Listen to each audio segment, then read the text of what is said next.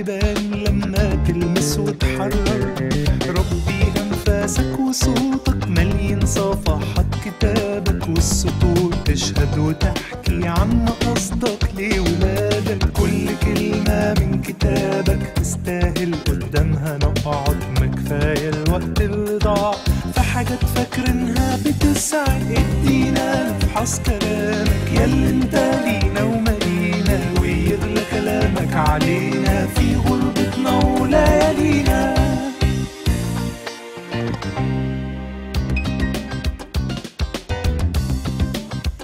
عزيزي المشاهد أهلا بك في حلقة جديدة من برنامجنا فاحصين الكتب برنامج دراسة الكتاب المقدس.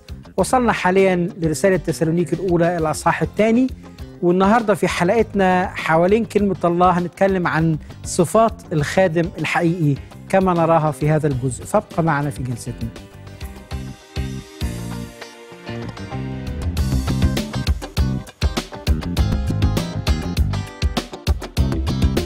لأنكم أنتم أيها الإخوة تعلمون دخولنا إليكم أنه لم يكن باطلا بل بعدما تألمنا قبلا وبغي علينا كما تعلمون في فيلبي جاهرنا في إلهنا أن نكلمكم بإنجيل الله في جهاد كثير لأن وعظنا ليس عن ضلال ولا عن دنس ولا بمكر. بل كما استحسنا من الله أن نؤتمن على الإنجيل هكذا نتكلم. لا كأننا نرضي الناس بل الله الذي يختبر قلوبنا. في الأصح الأول اتكلم بولس عن مؤمنين رائعين مؤمنين تسالونيكي. وصفهم أوصاف جميلة قوي لما قال عن عمل إيمانهم وتعب محبتهم وصبر رجائهم. لكن هنا في أصح اتنين بيتكلم عن نوعية من الخدام الرائعين. حتى إنه في الأعداد من 3 ل 12 بيقدم لنا 16 صفة جميلة قوي للخدام الرائعين دول منهم سبع صفات سلبية وتسع صفات إيجابية. يبتدئ الكلام في عدد واحد كما قرئ علينا لأنكم أنتم أيها الإخوة تعلمون دخولنا. لم يقل دخولي لأنه لم يكن وحده. كان معاه تيموساوس، كان معاه سيله فبيقول لهم دخولنا إليكم لم يكن باطلا بمعنى ان خدمة بولس واللي معاه في وسط مؤمنين تسالونيكي لم تكن باطلة بلا ثمر لكن كانت مؤثرة جدا. ليه كانت مؤثرة؟ لأن بولس ومن معه كانوا بيعيشوا الحق الكرازي اللي بيعلمه. فهذه العيشة والحق الكرازي اللي بيقدمه بولس أثر كتير في أهل تسالونيكي وغيرهم بقوا مؤمنين حلوين جدا حتى انه هو بيقول عنهم في الاصح اللي فات من قبلكم أذيعت كلمة الله كانوا بركة للي حواليهم ثم يضيف قائلا في عدد اثنين بل بعدما تألمنا قبلا وبغي علينا كما تعلمون في فيلبي جهرنا في إلهنا. رائع هذا الرجل الخادم الشجاع جدا. تألم في فيلبي وإحنا لما نرجع لسفر أعمال الرسل أصحاح 16 نشوف إيه اللي حصل لبولس وسيلة هناك إزاي ضربوا بالعصي ضرب مبرح. إزاي اتحطم في السجن الداخلي ورجلهم في المقطرة يعني آلام رهيبة. كان المتوقع إن بعد الآلام دي لو خادم نص نص يتراجع يخاف لكن كان رغم هذه الآلام يخدم بكل مجاهرة كم كان خادم شجاع. في الحقيقة من أعمال الرسل الصح عشرين نفهم قد إيه الخادم ده شجاع وعنده آه استعداد للتضحية. لما يقول عن الروح القدس يشهد أن في كل مدينة وثق وشدائد تنتظرني لكنني لست أحتسب لشيء ولا نفسي ثمينة عندي حتى أتمم بفرح سعي والخدمة التي أخذتها من الرب يسوع. الحقيقة النتائج الرائعة اللي ظهرت في الإخوة في تسالونيكي. بولس هنا بيلمح لنوع الخدمة اللي خدمها هو ورفاقه. يعني زي ما قلت حضرتك يعني قال في إصحاح واحد إنه أي رجال كنا بينكم من أجلكم. وهنا بيوضح أي نوع من الرجال أي نوع من الخدام. من ثلاثة من عدد ثلاثة لعدد ستة يبين سبع صفات سلبية لم تكن في بولس ورفاقه. علشان كده جت بالنتائج الإيجابية الجميلة الرائعة اللي ظهرت في كنيسة تسالونيكي. عدد ثلاثة لوحده لأن وعظنا ليس عن ضلال ولا عن دنس. ولا بمكر. في ثلاث صفات من الصفات دي التي لم تكن في بولس ورفاقه مش ممكن يكون وعظه عن ضلال وهم جايين وفي إيديهم وفي جسمهم العلامات علامات الجهاد والمعاناة والآلام اللي قاسوها في فيليبي. لكن بولس كمان لم يتكلم إلا بالحق. يعني أؤتمن زي ما هنشوف بعد شوية على الإنجيل من الرب نفسه. من البداية قال الرب لحنانيا لأن هذا لي إناء مختار. مختار ليحمل اسمي أمام أمم وملوك وبني إسرائيل. وقال عن نفسه كمان إنه مفرز لإنجيل الله. وقال إن الإنجيل ده أنا ما قابلتوش من إنسان ولا علمته لكن خده مباشرة من الله. فهو, فهو كان يتكلم بالحق لا عن ضلال. ودافع عن حق الإنجيل في رسالة غلاطيا شرح لنا الإنجيل في رسالة روميا ودافع عن حق الإنجيل في رسالة غلاطيا ولا عن دنس. ما فيش أي حاجة تتعلق بعدم الطهارة في خدمتهم وفي سعيهم إلى الكرازة بالإنجيل ولا بمكر. وهنا يعني نشوف في صورة جميلة لربنا يسوع المسيح. اللي شهد عنه بطرس وقال الذي لم يفعل خطية ولم يكن في فمه مكر. أيضا رسل المسيح ليس في فمهم مكر. عدد واحد بيقول لأنكم أنتم أيها الإخوة تعلمون دخولنا إليكم. برضو ما قالش دخولنا إلى تسالونيكي لكن دخولنا إليكم. هو مش عاوز يضم بلاد للمسيح عايز يضم أشخاص للمسيح. الله افتقد الأمم ليأخذ منهم شعبا على اسمه. دخولنا إليكم لم يكن باطلا. الحقيقة زي ما قال في كورنثوس الأولى 15 58 عالمين أن تعبكم ليس باطلا في الرب. ليه لم يكن دخولنا إليهم باطلا؟ ليه ما كانش باطلا؟ لأنه نفوس ولدت وكنيسة تأسست فكيف يكون دخول باطل؟ كان نتيجة دخول الرسول بولس ورفاقه إلى تسالونيكي أن هناك نفوس ولدت من الله وكنيسة فتية مباركة ناضرة اتكونت في تسالونيكي. في عدد اتنين يقول بعدما تألمنا قبلا وبغي علينا. كلمة تألمنا باللغة اليونانية هنا هو دي المرة الوحيدة اللي تيجي بالتعبير دوت. معناها فيها نوع من الافتراء يعني في ناس افتروا عليهم. هو فعلا لو نشوف اللي حصل معاهم في فيليبي كان افتراء أيوة. وافترى من واحد اللي هو بعد كده بقى واحد من الكنيسة بتاعت فيليبي يعني حاجة غريبة. ويقول وبغي علينا يعني الس- التعامل معانا وهنا بشكل بالغ جدا. فده الوضع يعني جسمانيا تألموا ألم مبرح ونفسيا تألموا ألم من الإهانة بشكل قوي جدا. ولا زالوا يستطيعوا أن يكملوا خدمتهم. هذا ليس إلا عمل الروح القدس في أواني يستخدم. كمان الجميل في آخر عدد اتنين لما بيقول نكلمكم بانجيل بإنجيل الله في جهاد كثير. آه يبدو إن ده كان طابع بولس دائما إنه مش خادم متراخي لكن كان دائما بيحب الجهاد. قيل إن هذه الكلمة كلمة الجهاد بتتكلم عن المثابرة في المسابقات الرياضية حتى إنه هو في آخر حياته كمان في تيموثاوس الثانية قال التعبير الجميل جاهدت الجهاد الحسن أكملت السعي. ده كان طابع حياته. تألمنا في فيليبي. ممن تألم في فيليبي؟ من الأمم. وبعدين تألم أيضا في تسالونيكي. ممن تألم في تسالونيكي؟ اليهود. من اليهود. وده مبدأ كل خادم أمين عليه أن يتوقعه. مش بس إذا خدم بالمسيح بالإنجيل لكن حتى لو أراد أن يعيش تقيا. جميع الذين يريدون أن يعيشوا بالتقوى في المسيح يسوع يضطهدون. كمان أضيف كلمة عن آخر عدد اتنين لما يقول جهرنا في إلهنا أن نكلمكم بإنجيل الله في جهاد كثير. الجهاد مع مين؟ أقدر أشوف دايرتين للجهاد. جهاد مع النفوس وجهاد مع الله لأجل النفوس.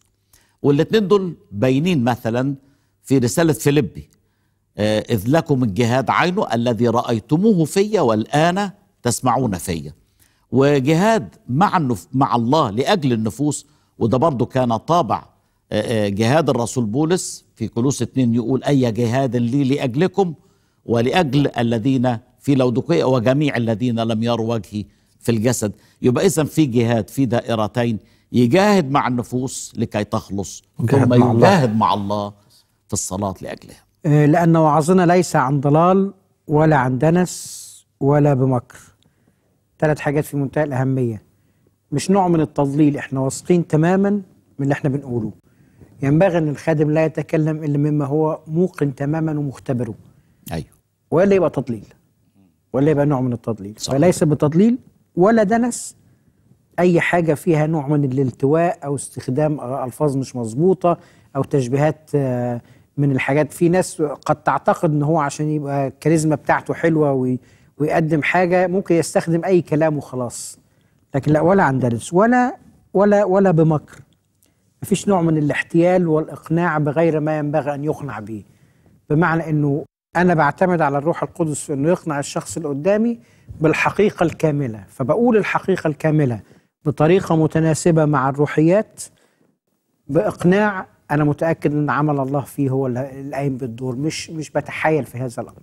الرسالة الصحيحة يجب أن تقدم بطريقة صحيحة. صحيح. بولس نفسه بيقول للمؤمنين في فيليبي أخيرا أيها الإخوة كل ما هو حق لكن كمان كل ما هو جليل عالي الشأن وسامي القيمة. كل ما هو عادل كل ما هو طاهر. وبعدين يقول لهم ففي هذا افتكروا وما تسلمت تعلمتموه وتسلمتموه وسمعتموه ورأيتموه في فهذا عمله. عدد أربعة بل كما استحسنا من الله أن نؤتمن على الإنجيل هكذا نتكلم. كما استحسنا من الله. بولس دايما لما يجيب خدمته المميزة وهو فعلا كانت ليه خدمة مميزة كان دايما يذكر لا شيئيته. يعني مش لأني عندي إنجيل معين فأنا يعني ما ولدتوش ولادة. لا بالعكس هو حس أنه مثلا عندما تكلم على إنجيل مجد الله المبارك الذي اؤتمنت أنا عليه في تس في تيموساوس الأولى واحد. بيقول الخطاة الذين أولهم, أولهم أنا. لما بيتكلم على أن لي أنا أصغر جميع القديسين أعطيت هذه النعمة أن أبشر بين الأمم بغنى المسيح الذي لا يستقصى. في كورنثوس الأولى 15 بيقول أنا لست أهلا أن أدعى رسول. رسولا لكن بنعمة الله أنا ما أنا. فلماذا يا بولس أنت رسول مميز؟ لأن الله أراد أن يكون ذلك كذلك. مطلق سلطان الله كما استحسنا من الله أن نؤتم مش لأني أنا كويس. شخصية ما ما تكررتش لا. أنا من غير نعمة الله كنت هبقى أشر واحد. لأن الله هو آه، صاحب الإرسالية لبولس وصاحب التكليف للخدمة. علشان كده الجزء الأخير من عدد أربعة يبنى على هذا التكليف الإلهي. صحيح. لما بيقول لا كأننا نرضي الناس بل الله الذي يختبر قلوبنا. يعني لو هيئة هي التي أرسلت بولس أو مؤسسة كان الطبيعي يسعى لكي يرضي هذه الهيئة. لكن لأن الله صاحب هذه الإرسالية فهو مشغول فقط أن يرضي الرب والخادم الناجح. لا يسعى أبدا لإرضاء الناس لكن يسعى لإرضاء من جنده. الكلمة كما استحسنا من الله أن نؤتمن استحسنا معناها في الأصل كمان في نوع من الاختبار. أيوه. كمان اختبرهم الله فوجدهم أمناء لكي يحملوا هذا الخبر. بالظبط فكان ودي روعة ده منتهى الأبروفل إنه إن الله نفسه اللي بيمتحن القلوب امتحن هؤلاء وشافهم أمناء إن هم يقدموا كده. ونابع من كده أقدر أقول رايح راجع بقى. لأن الله ائتمنهم هم ما بيرضوش غير الله ولأن هم ما بيرضوش غير الله الله ائتمنهم. صح. يعني الجزء الأولاني ولا الجزء الثاني مبني الاثنين مبنيين على بعض متركبين على بعض. خدمة بولس ورفاقه كانت شفافة. وعلشان كده في مرات كتير في الجزء ده يجي يقول لهم لأنكم مثلا أنتم أيها الإخوة تعلمون. ويرجع يقول لهم بعد كده كما تعلمون. ويقول الله الذي يختبر قلوبنا. قلوبنا. وبعدين يقول الله شاهد فخدمتنا شفافة قدام الله وقدامكم أنتوا شايفين. الخادم الحقيقي. سمات الخادم الحقيقي كما نراها في الرسول بولس. واحد أساليب مقدسة. ألف عدم الخداع. اعتمد على الصدق وليس الحيل والأساليب البشرية. باء عدم التملق. أي كسب الناس عن طريق تمجيد الأنا الخاصة بهم. جيم ليس بهدف إرضاء الناس. إعلان حق الإنجيل وليس ما يحب الناس سماعه. اثنان دوافع مقدسة. ألف بلا دنس. أي الرغبة في الحصول على المال والقوة والتلاعب بالمشاعر. باء بلا طمع. فليس دافع الخدمة هو التقدمة المالية. بل بالعكس اشتغل وهو لم يأخذ شيئا منهم جيم ليس لمجد أو شهرة. لم ينتظر أو يطلب مجدا من أحد بالرغم من مكانته كرسول للمسيح. ثلاثة حياة مقدسة. ألف طهارة. حياة ترضي الله. باء بر. الاستقامة طبقا لمقاييس الله. جيم بلا لوم. لا توجد فرصة واحدة لأي أحد ليلوم الخدمة. أربعة يشبه بالوالدين. فهو كما الأم المرضعة في كل منه ألف الترفق مشاعر اللطف والحنو والترفق باء الرعاية والتربية.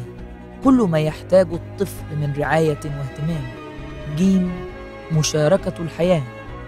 لم يعزل نفسه عن المخدومين بل اقترب منهم بشدة حتى أنه وافق على إعطائهم حياته ووقته وماله. وهو كما الأب مع أولاده في كل من. ألف الوعظ.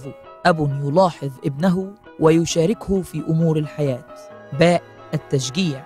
التعزية والتشجيع في المواقف الصعبة. جيم الحث. التحدث بكل جدية وإصرار حينما يتعلق الأمر بأمور في غاية الأهمية.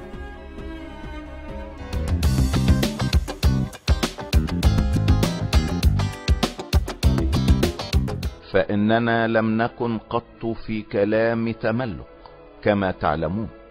ولا في علة طمع. الله شاهد.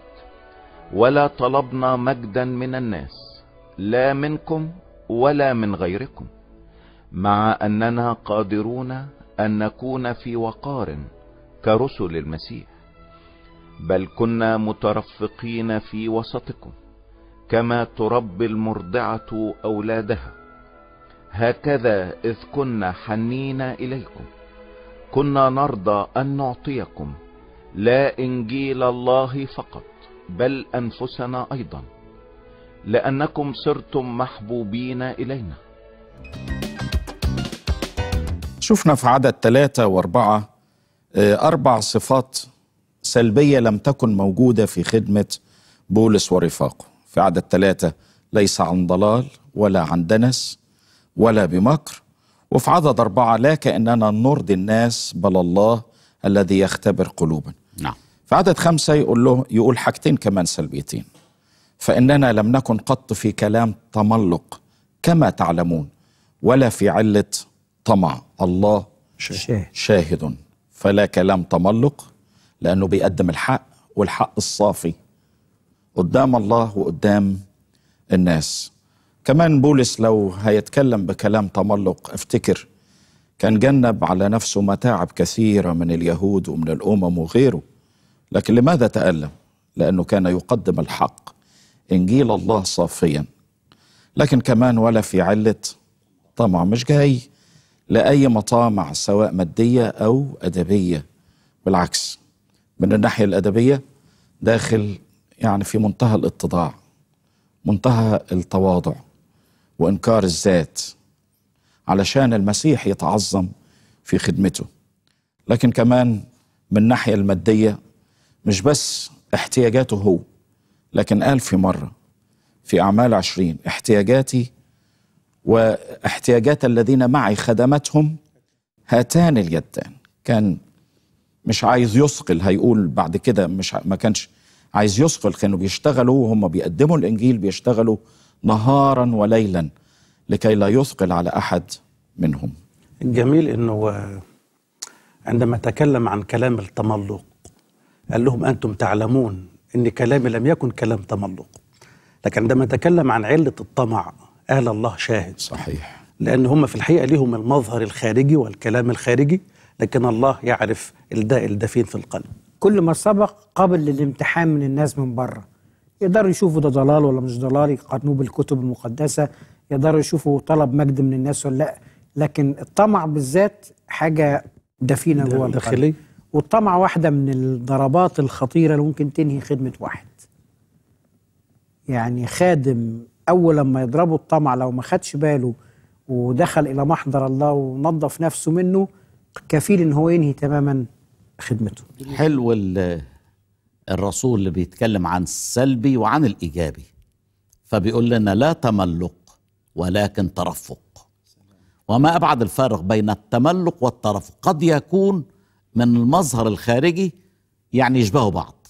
أنا بتكلم كلام حلو مع النفوس. لا كلام حلو تملق لا ده مش عند الرسول بولس ولا عند أي خادم أمين للمسيح. طيب في قسوة؟ بالعكس في ترفق. مترفقين إزاي؟ كما تربي المرضعة اولادها فيش بعد كده نوع من الترفق أروع من هذا المستوى. الفرق بين التملق والت- والترفق هو كلمة الحق. أيوه التملق لا يقول الحق. صحيح. الترفق يقول الحق. الاثنين طراي ماشي بس هل فيهم الحق ولا لأ؟ هو ده اللي بيفرق من دي ودي. وتعبير كما تربي المرضعة أولادها بياخد فكري لخادم عظيم برضه في العهد القديم بس في الحقيقة في النقطة دي قال للرب في سفر العدد أصح 11 لا يا رب. دي كده كتير قوي. فاللي هو موسى بيقول كده لماذا أسأت إلى عبدك؟ ولماذا لم أجد نعمة في عينيك؟ حتى أنك وضعت ثقل جميع هذا الشعب علي. ألعلي حبلت بجميع هذا الشعب؟ أو لعلي ولدته حتى تقول لي احمله في حضنك كما يحمل المربي الرضيع إلى الأرض التي أنت حلفت أنك تعطيهم إياها؟ موسى قال له لا ما أقدرش. ده كتير عليا أن بقى أعملهم زي المرضعة. هو أنا حبلت بيهم أنا ولدتهم. لكن بولس بكل سرور كان عنده استعداد إنه يحمل ويترفق كما تربي المرضعة اولادها ويقال إن كلمة تربي تدفي. يعني تخيل مرضعة بتعمل إيه مع طفلها؟ تاخده في حضنه وتدفيه. هكذا كان يفعل الرسول بولس مع المؤمنين. عدد ستة ولا طلبنا مجدا من الناس. مش بس كده لكن تخلى عن حقوقه كباقي الرسل. يعني لا هو طمع في حاجة مش حقه لكن حقه الطبيعي اللي كان ممكن يتمتع بيه إنه يكرز ويتفرغ للخدمة بدون متاعب في العمل تخلى عنه. المعمدان كان كذلك. خادم أمين محترم يسعى مش لتمجيد نفسه لتمجيد المسيح. صحيح. لما قالوا له هو ذا الجميع يذهب وراءه. ما زعلش. لكن قال ينبغي أن ذلك يزيد وإني أنا أنقص؟ ورب المجد نفسه قال مجدا من الناس لست, لست لست أقبل. أقبل. فلا عجب أنه خدام المسيح لا يسعوا إلى مجد ذاتي رائع عدد ثمانية. لما يقول هكذا إذ كنا حنين إليكم كنا نرضى أن نعطيكم. نعطيكم إيه؟ لا إنجيل الله فقط. بل أنفسنا. بل أنفسنا أيضا. آه تديله إنجيل الله آه باعتبارك خادم كويس. مش مطلوب أكتر من كده. لا في الحقيقة هو أدى أكتر من كده. صحيح. أنا هدي لكم الإنجيل باعتباري خادم مرسل من الله إليكم أوصل لكم الخبر لكن لأني بحبكم فأنا مستعد أديكم نفسي. أو كما قال في كورنثوس آه، رسالة كورنثوس آه، الثانية 12 آه، ل- بكل سرور أنفق وأنفق. أقدر أسميها النهارده بلغة النهارده إن الخادم لازم يبقى متاح للمخدومين. أيوه. متاح ليهم من حيث الوقت من حيث إنه يسمعهم من حيث إنه يتعاطف معاهم عنده استعداد ان هو يعطي إلى أقصى درجة ممكنه والحقيقة لما بنقرأ الرسالة دي عموما بنو يعني بندهش لكم الحق اللي وصل للمؤمنين في مدة بسيطة. لكن يعني بولس يفسر لنا الموضوع ده ويقول لنا مثلا في أعمال عشرين كيف لم أؤخر شيئا من الفوائد إلا وأخبرتكم وعلمتكم به جهرا وفي كل بيت. صحيح. فكان متاح وكان آه، يعني ما فيش حاجة من الحقائق مأخرها حتى مش يعني آه، منعها عنهم أو لم يخبرهم بها لكن مأخرها المرضعة عليها أن تتغذى جيدا. لازم تتغذى كويس علشان اللي بتتغذاه يتحول بعد كده إلى لبن لفائدة الرضيع. وأعتقد أن بولس كان خادم مجتهد وأمين. يتغذى دائما على كلمة الله لكي ما يستطيع أن يطعم صغار النفوس. لأنكم صرتم محبوبين إلينا. تعبير رائع مش كده؟ يعني حلو أن أحب المسيح وأخدم التلاميذ. زي ما الرب قال لبطرس أتحبني ارعى غنم. لكن قد إيه كمان رائع أن الواحد يحب اللي بيخدمهم. وساعتها هيديهم إنجيل الله لكن هيديهم كمان نفسه. وده اللي عمله الرسول بولس لأنكم صرتم محبوبين إلينا. لو ربطتها بكلام الرب لبطرس أخي يوسف أيوة. عايز أقول إن مبدأ الرب دايما اللي عايز تعبر بيه ليا عبر بيه للآخرين. أيوة. لأنه المبدأ اللي قاله يوحنا إذا الله اللي أنا مش شايفه بقول إن أنا بحبه. وجيت لم أمارس هذه المحبة مع اللي أنا شايفه. مش ممكن يبقى حق. صحيح. مش ممكن يبقى حق. فأنا بعبر عن حبي لله لهؤلاء بحبي لهؤلاء المخدومين. وأعتقد دي واحدة من الحاجات اللي تخلينا نحب اللي بنخدمهم أكتر ونحب الإخوة كلهم المؤمنين كلهم ونحب حتى كل الناس. أيوة. الرسول هيعبر عن أشواقه للمؤمنين في تسالونيكي بعد شوية. بس هنا حتى وهو وسطهم بيقول هكذا إذ كنا حنين إليكم. يعني وهو وسطهم كان بيحن إليهم وبيحنوا عليهم. أيوة لما بيقول في عدد سبعة كنا مترفقين. الواحد بيعظم نعمة الله لما نرجع لتاريخ حياته ونشوف قد إيه الراجل ده بالطبيعة كان قاسي جدا وفظ وخشن وبيجر الستات والرجالة المسيحيين يزج بهم في السجون. وفي الحقيقة كان راضيا بقتل استفانوس شوف قد إيه نعمة الله تغير الأسد الديب ده وتخليه شخص مترفق ده يخليني أقول لكل واحد ما تستسلمش لطبعك. صحيح. إذا لأي سبب من الأسباب أنا طبع بيتكون من حاجات كتيرة جدا حاجات في الجينات وحاجات في التربية وحاجات في الثقافة وبتشكل على شكل للأسف مش مش مش بالضرورة يكون كويس. بس في مفيش أي عذر الواحد يقول لك أنا طبعي حامي. لا الله قادر إن هو يغير الطبع. غير صحيح. قادر إن هو يغير.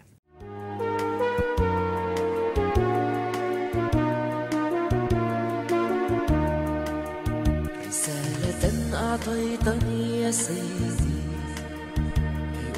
الملا عن الحب العجيب. وقلت لي أن الطريق شائك. وقلت لي أني سأحمل الصليب. لكنك وعدت أن تمنحني. من روحك القدوس عونا لا يخيب.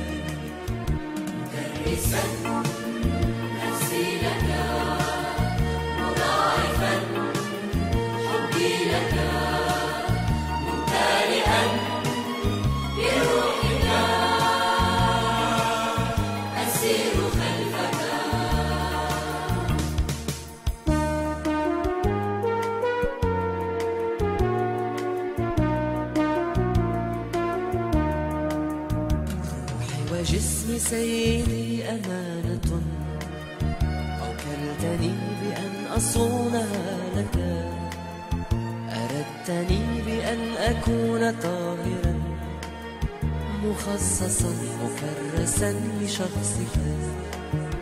نداء العالم قوي قوي كي أنكر النفس وأحيا ملكك.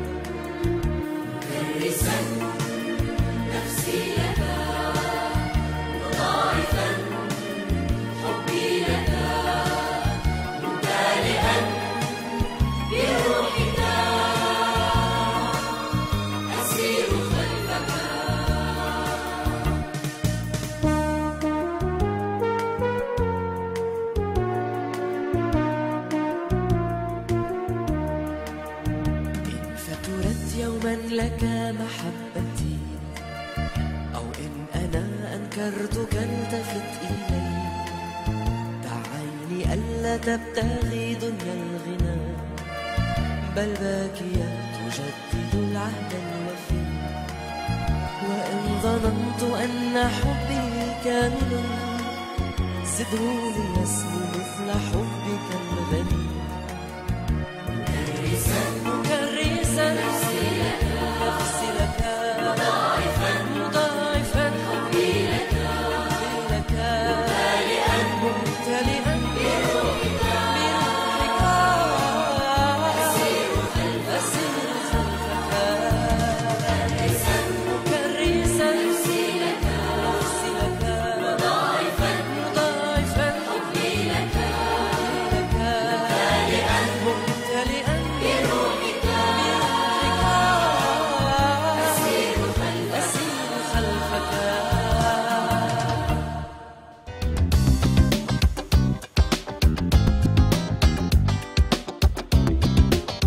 فإنكم تذكرون أيها الإخوة تعبنا وكدنا. إذ كنا نكرز لكم بإنجيل الله ونحن عاملون ليلا ونهارا كي لا نثقل على أحد منكم. أنتم شهود والله كيف بطهارة وببر وبلا لوم كنا بينكم أنتم المؤمنين. كما تعلمون كيف كنا نعظ كل واحد منكم كالأب لأولاده ونشجعكم ونشهدكم لكي تسلكوا كما يحق لله الذي دعاكم إلى ملكوته ومجده. الحقيقة شيء رائع الأعداد اللي قريناها دلوقتي. آه، قبل كده كلمنا عن الأم المرضعة الحانية. وفي هذه الأعداد بيكلمنا عن الأب الذي يشجع ويترفق. اتعلم الحاجات دي منين؟ من الله. لأن إحنا عندنا الرب قال كده في إشعيا 66 كإنسان تعزيه أمه.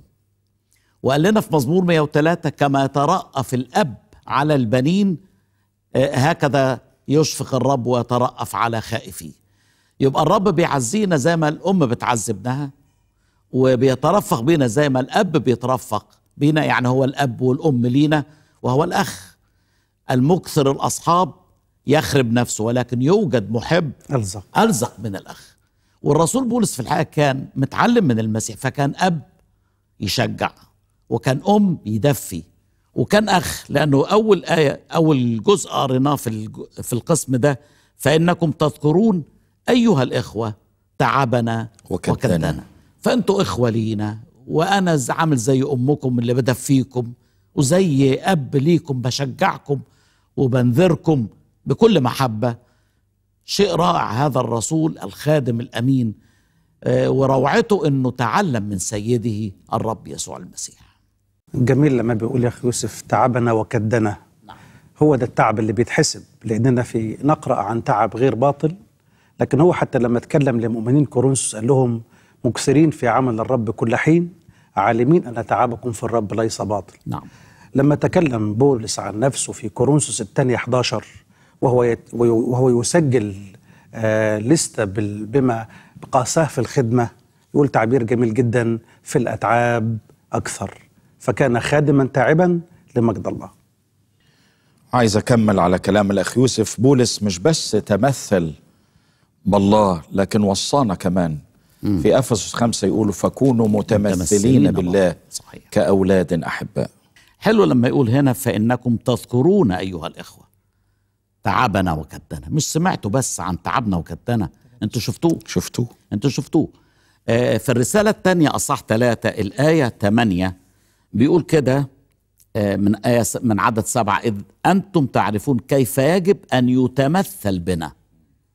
لأننا لم نسلك بلا ترتيب بينكم ولا أكلنا خبزا مجانا من أحد بل كنا نشتغل بتعب وكد ليلا ونهارا لكي لا نثقل على أحد منكم.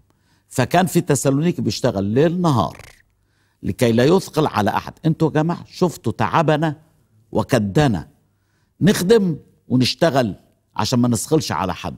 مع إن المبدأ الإلهي أيوة. يعني اللي بيخدموا الإنجيل ياكلوا من الإنجيل. صحيح. لكنه تخلى عن هذا الحق. والحقيقة بولس أرسى نموذج ومثال في الخدمة المسيحية اللي هو صانع الخيام. صحيح. فالمسيح دعا ناس علشان يتفرغوا من أعمالهم يتفرغوا لخدمة الإنجيل لكن دعا ناس كمان علشان يخدموا وهم بيشتغلوا. في الحقيقة مش بس بولس اشتغل علشان آه، لا يثقل على مؤمنين تسالونيكي لكن في كورنثوس المدينة اللي قعد فيها فترة مش قليلة لمدة 18 شهر كان بيشتغل صانع خيام لكي لا يعطي أي فرصة للمنتقدين. رائع هذا الرسول إنه كان يعني يحتوي على العديد من المواهب فكان مبشر وكان راعي وكان معلم. وهنا في هذه الأعداد نجد مبشر مثلا في عدد اثنين لما يقول جاهرنا في إلهنا أن نكلمكم بإنجيل الله. بإنجيل الله وبعدين بيكلمنا برضو عن إنجيل الله بس باعتباره راعي عدد ثمانية إذ كنا حنين إليكم كنا نرضى أن نعطيكم لا إنجيل الله فقط بل أنفسنا أنفسنا, أيضاً. أيضا. ثم يتكلم عن إنجيل الله للمرة الثالثة باعتباره معلم فيقول في عدد تسعة تذكرون أيها الإخوة تعبنا وجدنا أننا كنا نكرز. نكرز لكم بإنجيل الله باعتباره معلم. فهو مبشر قدم الإنجيل وكراعي مش بس الإنجيل لكن نفسه أيضا وكمعلم بدأ يكرز ويشرح تفصيلات هذا الإنجيل كمعلم. عدد عشرة بيقول لهم مش بس كلامنا اللي كان من غير دنس حتى سلوكنا كمان في وسطيكم. بطهارة وببر وبلا لوم كنا بينكم أنتم في الحياة اليومية بينكم أنتم المؤمنين. عدد آه، 11 لما بيقول كما تعلمون كيف كنا نعظ كل واحد منكم. جميل تعبير كل واحد منكم صحيح. رغم مشاغل الخدمة الكثيرة لكن عنده وقت يقعد مع كل واحد لتقديم مشورة لتقديم نصيحة. قد كده كان زي ما أشرت أخ عصام متاح للمؤمنين في تسالونيك قال أم وقال أب وأنا بشوف فيهم كام حاجة تانيين غير اللي قالهم الأخ يوسف كمان. آه، الأم بتدي المشاعر الأب بيشعر بالمسؤولية فالخادم بيشعر بالمسؤولية تجاه مخدوميه لكنه أيضا لا يمكن أن تكون هذه المسؤولية من غير مشاعر وإلا ممكن تتحول لقسوة ممكن تتحول لحاجات تانية آه، كتير جدا. الأم آه، ممثلة هنا بمرضعة بتدفئ أولادها زي ما كنا بنقول من شوية أو بترضعهم دون أن يشعروا هم باحتياجهم لكن الأب هنا هو في احتياج فشجعهم. فيه. فإذا كان المخدوم شاعر باحتياجه الخادم بيسده. مش شاعر باحتياجه والخادم نظرا لأنه سابقه في الإيمان شايفه برضه بيسده أنتم شهود والله. رائع. كيف بطهارة وبر وبلا لوم. بلا لوم الخادم لازم يبقى بلا لوم. والمخدومين ينبغي أن يكونوا بلا لوم. المؤمن مفروض يبقى بلا لوم. لما بيكلمنا في رسالة فيليبي لكي تكونوا أولادا لله لكي تكونوا بلا لوم وبسطاء أولادا لله. حلو إن المؤمن يحرص ويراعي أن يكون دائما بلا لوم لكي لا يفترى على مخلصنا الله ولا على تعاليم المسيحية. إذا كنا بلا لوم فإننا سنفعل ذلك. عدد 12 يقول ونشهدكم لكي تسلكوا كما يحق لله. من أروع الحاجات اللي تفرح الخادم الحقيقي اللي ليه القلب الأبوي زي الرسول بولس أن يرى أولاده في الإيمان يعيشون ويسلكون حسب الحق. الرسول يوحنا لما بيكتب الرسالة الثانية لكيرية بيقول أنا أفرح عندما أسمع عن بعض أولادك أنهم يسلكون بحسب الحق. شيء ممتع وجميل أن يكون أولادك في الإيمان يعيشون حسب الحق. كما يحق لله الذي دعاكم. في أصح واحد عدد أربعة قال عالمين أيها الإخوة المحبوبون من الله اختيارك. اختياركم مم. ففي أصح واحد بيتكلم عن اختيارهم في أصح اتنين بيتكلم عن دعوتهم ونفتكر أن في ارتباط بين الاختيار والدعوة. قريناه في روميا أصح 8 عدد 29 لأن الذين سبق فعرفهم هذا هو الاختيار. سبق فعينهم ليكونوا مشابهين صورة ابنه والذين عينهم هؤلاء دعاهم أيضا هنا الدعوة. دعاكم أو يحق لله الذي دعاكم إلى ملكوته ومجده. ومجده. ويمكن ده السبب لما نوصل لأصحاح أربعة هنعرف إنهم حزنوا قوي على إن بعض المؤمنين إخوتهم رقدوا وقالوا يا خسارة كانوا مستنيين الملكوت ومستنيين المجد لكن ماتوا. فهيوضح لهم إن اللي ماتوا ما راحتش عليهم أي حاجة لأن قبل ما إحنا نتغير الأموات في المسيح سيقومون أولاً. دايما خدمة الرسول بولس كان بتتميز بجانبين جانب تعليمي لكن جانب وعظي كمان للحض على السلوك القويم. هنا يقول لهم ونشهدكم لكي تسلكوا كما يحق لله. في رسالة فيليبي يعلم المؤمنين يقول لهم فقط عيشوا كما يحق لإنجيل المسيح. في رسالة أفسس أربعة برضو يقدم لهم نفسه كالأسير في الرب ويعظهم أن يسلكوا طبقا للدعوة التي دعوا بها. جميل أنه يبقى الحق تطبيقي وجميل أن يبقى فيه سلوك دايما. نفكر بعضنا إحنا المؤمنين بالسلوك القويم. جميل إن بولس خادم متوازن مع إنه بيتكلم عن إنه أب يشجع ويشهد. لكن هذا لا يتنافى أو لا يعني إنه مش بيوبخ. عندما يحتاج الأمر لتوبيخ يوبخ عندما يحتاج الأمر لتشجيع يشجع. يعني بيقول لتيموساوس وبخ وانتهر وعظ. وهو كمان عندما استدعت الحاجة أن يوبخ مؤمنين غلاطية لم يتوانى. أيها الغلاطيون الأغبياء من رقاكم حتى لا تذعنوا الحق. فخادم متوازن يعرف يشجع عندما يستلزم الأمر تشجيع ويوبخ عندما يستلزم الأمر توبيخ. لكن الحقيقة برضه بولس ما كانش بس بيعظ. لكن مثلا يقول للمؤمنين في غلاطيا يا أولادي الذين أتمخض بكم إلى أن يتصور المسيح فيكم فكان يحملهم في قلبه وفي احشائه ويصلي من أجلهم ويتمخض لكن من الناحية الثانية كان يعظهم أن يسلكوا. الآية دي يا أخ نحمية جميلة لأنه بيقول يا أولادي الذين أتمخض بكم أيضا. أيوه. كلمة أتمخض بكم أيضا يعني مرة تانية. صحيح. واحد علق قال الأم بتتمخض بابنها مرة, مرة واحدة. بس بولس اتمخض مرة عشان يولدهم ولما سمع إنهم ابتدوا يرتبكوا ويتلخبطوا قام مستعد كمان أتمخض بكم أيضا لك إلى أن يتصور المسيح فيكم. يعني غاية خدمته أن يرى المسيح في النفوس. صحيح. ودي غاية يعني ما أجملها غاية مباركة جدا. علينا أن نسعى لذلك. وعلينا أن نعرف إنه هيجي اليوم قريب جدا صحيح. وقصد الله الأزلي أن يتحقق. نكون مشابهين صورة ابنه هيتحقق علينا أن نسعى آه، لكي نتغير ادبيا بقدر الإمكان لصورة المسيح ونعلم أنه إذا أظهر نكون مثله لأننا سنراه كما هو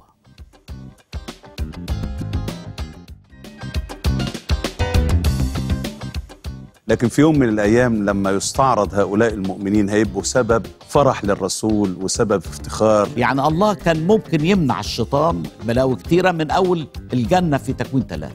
بس ابتدي بمواظبه ولو حتى هظبط منبه عشان خاطر ينبهني إن ده ميعاد قراية الكتاب يوميا. هل يعني الألم قرين الإيمان بالمسيح؟ نعم هو قرين الإيمان بالمسيح. عزيزي المشاهد رسالة تسالونيك الأولى رسالة تتحدث عن الانتصار على الزيف. ندعوك لمشاهدة دراستنا معا في برنامج فاحصين الكتب لهذه الرسالة العظيمة.